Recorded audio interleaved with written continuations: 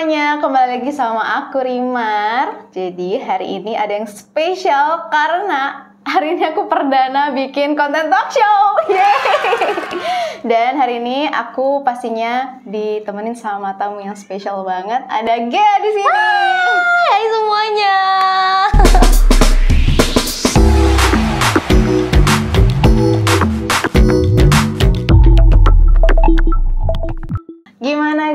Kesibukannya apa nih sekarang? Aku lagi bikin podcast kan. Oh iya, kita Nanti kita udah- juga baru habis syuting.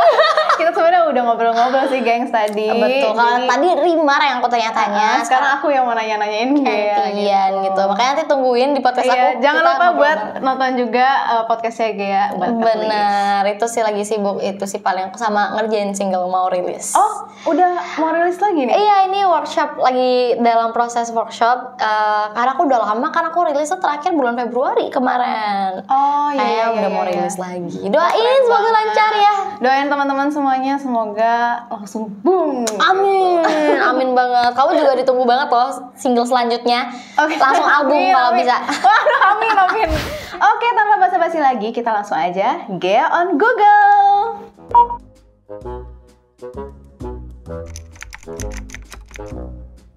Gea mulai nyanyi umur berapa sih? Aku itu sebenarnya eh, dari kecil suka nyanyi. Oke. Cuman aku baru tahu aku bisa nyanyi itu SMA. Oh. Jadi justru mulai kayak nyanyi di event-event Mm-mm. reguleran gitu-gitu dari SMA. tapi ikut les-les gitu nggak sih? Tidak. Oh enggak, jadi ini otodidak nih. Atau tidak. Terus aku ingat banget dia tuh dulu sebenarnya sebelum idol pernah juga kan ajang pencarian bakat kan ya? Pernah aku pernah rising star sebelum itu, cuman ya mungkin rezekinya di idol. Iya. Iya. Terus langsung kayak glow up banget gitu. Bener banget. Itu efek stres kayaknya. Oh, itu efek gitu? stres. Jadi aku waktu di Rising Star kan aku kalah. Heeh. Eh, ke eliminasi itu aku stres. Oh, aku iya? bener-bener stres karena waktu itu aku udah kayak yes akhirnya aku bisa nih ada step menuju eh, menjadi penyanyi beneran Ah, gitu ah, di industri. Terus tiba-tiba aku ke eliminasi. Kayak terus mimpi aku yang udah lumayan agak tinggi akhirnya drop saya gitu. Oh ya mungkin karena kita masih baru pertama kali, iya aku juga ngerasain sih. Kalau pertama kali terus kita bisa masuk ajang pencarian bakat terus kita ke Ke eliminasi eliminasi tuh. kayaknya kayak wah mimpi kita sudah hilang gitu. Hmm, makanya dari situ aku cari hal-hal yang bisa bikin aku seneng. Hmm, Terus hmm. akhirnya aku nonton Korea gitu. Ah. Terus aku nyobain style-stylenya sampai sekarang kayak begini dah. Iya tapi emang bener sih, emang stylenya Gea paling cocok kayak Korea Korea gitu. Soalnya aku suka juga sih gitu. Jadi glow up-nya lebih karena move on. Oke oke Gitu. oke. Terus dulu waktu abis idol, kalau aku kan pandemi ya, jadi Hmm. abis idol off airnya ya virtual gitu ya. Kalau Gea dulu kayak gimana? Uh, itu terseru sepanjang perjalanan karir sih Oh. kayak kayak selain dari idol itu off airnya yang seru.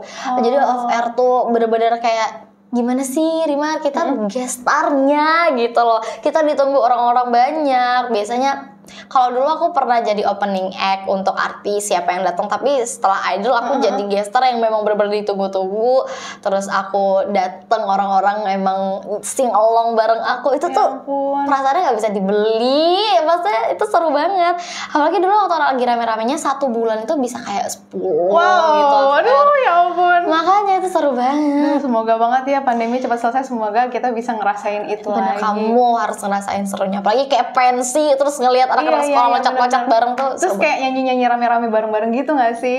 seru banget itu Terus kalau misalkan dari referensi musik nih, Mm-mm. Gea tuh lebih ke apa sih referensinya? Aku K-pop banget Oh, sih K-pop banget ya. Heeh, jadi musik-musik bukan cuman boy group girl grupnya Ah, ya tapi juga penyanyi-penyanyi solo di Korea atau aku referensinya ke sana Oh. dari dulu nggak dipaksain nggak dibikin-bikin tapi aku memang suka gitu dan aku ngerasa cara bernyanyi aku juga cocok gitu Eh, kalau paling favorit nih, kalau yang eh, grup-grup itu siapa?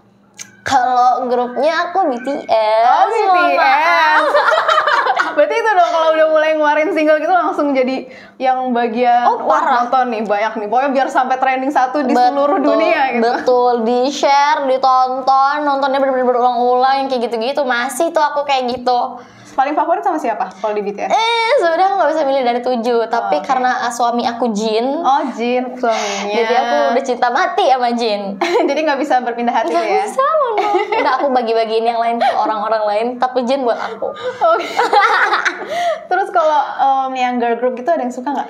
Girl group aku ngikutin-ngikutin aja sih semua kayak Red Velvet, Blackpink, sekarang Uh-uh. ITZY aku ngikutin, Oh. Twice aku ngikutin, tapi enggak yang kayak BTS yang bener-bener aku sampai aku harus datang konsernya, Oh, aku harus beli merchandise-nya enggak yang kayak gitu.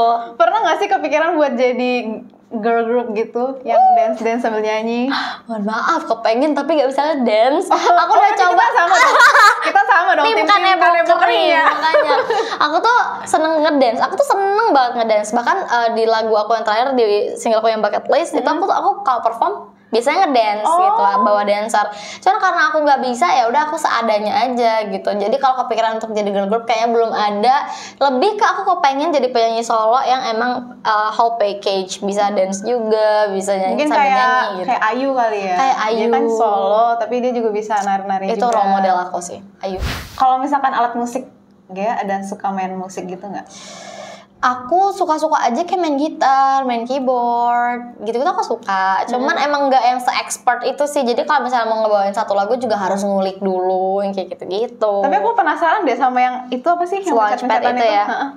Itu tuh susah tau, bukan susah. Jadi orang-orang kan nggak banyak tahu ya. Jadi Heeh. bukan itu kita beli terus dipencet bisa-bisa keluar suara tuh Nah. nggak kayak gitu. Jadi itu gimana Jadi itu tuh cuman controller. Oh. Eh, musiknya tuh tetap kita harus bikin dulu. Heeh. Kita harus produksi musiknya sendiri. Baru nanti kita akan insert musik-musik kayak kayak suara-suara tiap-tiap eh, pencetannya itu. Oh, jadi ini pencetan ini kita insert musik apa? eh, Heeh, biar- kayak sound apa Mm-mm. gitu. Ini sound apa? Misalnya yang ini kita isi sound snare drum, Mm-mm. deg gitu kan. Eh, apa eh ini bassnya saya Iya, iya. bass yang ini snare. Jadi kalau dipencet kayak deg gitu. Oh. Tak. Jadi kayak gitu.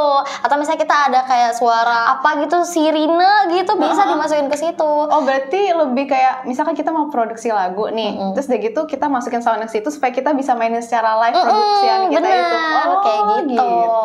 sistemnya. Jadi buat bikin satu konten yang kayak cuma 15-20 detik itu aku biasanya bisa ngabisin satu hari untuk ngebikin. Wow, itu benar-benar berdedikasi tinggi itu ya. sih guys. Terus bikin bikin light show-nya itu juga nggak gampang. Oh, jadi itu lightingnya juga lightingnya dibikin. juga di ini dikontrol gitu. Jadi ada misalnya yang ini kita mau warna kayak kemarin aku bikin buat 17 Agustus, aku bikinnya merah putih gitu kan. Oh. Nah, itu nanti kalau misalnya kita pencet ini yang nyala lampu yang mana aja itu tuh di, di Oh gitu, ya ampun Gitu. ternyata tidak sesimpel itu, geng. Betul. Kita mikirnya cuma mencet-mencet doang, ternyata itu susah. Terus aku harus ngehafal kan, yang Iya, ini iya. suara apa, ini Iya, suara ini suara apa. apa. Terus dari gitu kamu sambil nyanyi. Sambil nyanyi. Nah, itu makin pusing lagi tuh. Menangis.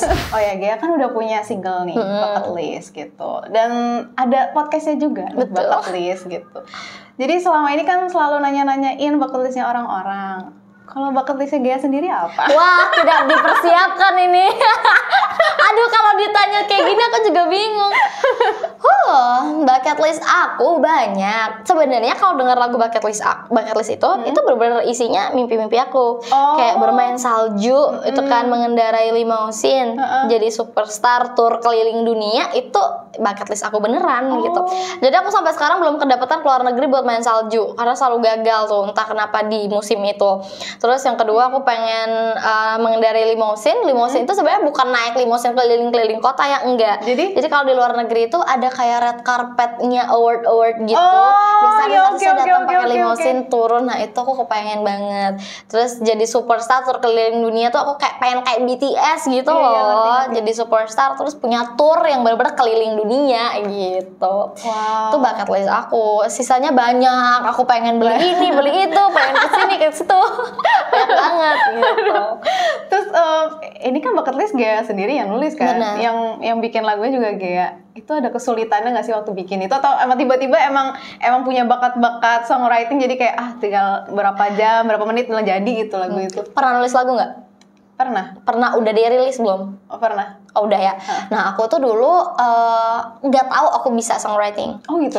nggak pede terus juga aduh susah banget kenapa ya lagu orang bagus-bagus kok kayaknya aku cuma bisa bikin segini aja gitu sampai akhirnya aku beraniin diri sendiri apalagi sekarang urusan royalti publishing dan macam-macam itu kan Ah. udah susah Benar sih. orang-orang banyak nggak tahu tapi aku aja uh, ada acara yang aku nggak bisa bawain lagu aku sendiri Bener karena banget, bayar bener. itunya mahal. Bener banget, bener banget. Gitu Apalagi kan. lagi pandemi kayak gini, orang-orang nggak tahu tuh betapa sulitnya kita membawakan lagu sendiri. Benar, jadi harus cover-cover lagu orang. Nah dari situ aku mulai memberanikan diri untuk ya udah kenapa tidak pakai lagu aku sendiri.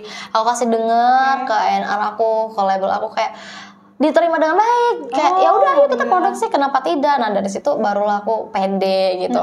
Nah bikin bucket list itu sebenarnya tidak ada kesulitan yang gimana-gimana sih. Karena aku tipenya gini, bukan tipe yang ah, wah malam ini aku nggak ada kerjaan nih bikin lagu Oh. ah nulis nggak bisa Oh, jadi- jadi jadi gimana tuh? inspirasi aku tuh datangnya bisa dari mana-mana. Misalnya aku dari toilet, aku lagi nyanyi di shower, tiba-tiba ada melodi Ada muter-muter. nada nih langsung, eh rekaman dong. Oh, cari-cari HP udah di voice Oh, note iya. gitu. Atau atau emang kayak bucket list itu sebenarnya aku udah abis nonton Mhm.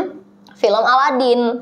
Terus di situ kan ada genie-nya. Oke. Si genie-nya itu kan mengabulkan tiga permintaan. Oh, iya, Nah, iya, iya, dari situ iya, aku iya. tulis bisakah kau mengabulkan tiga permintaanku? Kayak Aduh, lucu gitu. Hmm, Kan kalau Gea kan udah bisa bikin lagu sendiri. Jadi kita mau challenge buat Gea bikin lagu. Takut. Tapi bebas nih bebas. Oke. Tapi harus ada kata-kata awan. Apa pun itu. Aduh. Refnya aja boleh. Refnya aja boleh. Ini kan baru mau dibikin ya. Aduh, gimana ya lagunya? Awan di langit yang biru berarah ke sana kemari putih bersih seakan apa ya? Dikit lagi tuh. seakan hmm, ganti liriknya